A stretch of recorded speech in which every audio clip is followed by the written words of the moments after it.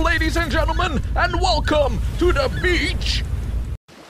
We're here with Jason Jordan and the architect of sandcastles, Seth fricking Rollins.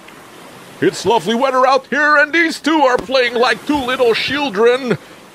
But hold on, what's that beach ball doing here? Oh no, wait, it's Cesaro! He's not a big fan of beach activities! Going for a neutralizer? Oh, mamma mia! He destroyed the sand castle!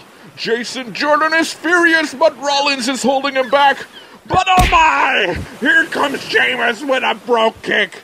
Now Cesaro grabbing onto Jason Jordan, and here comes Sheamus with another Brogue Kick. Oh my! Sheamus and Cesaro are the rated bar supers bars. Will they win the tag titles at the Royal Rumble?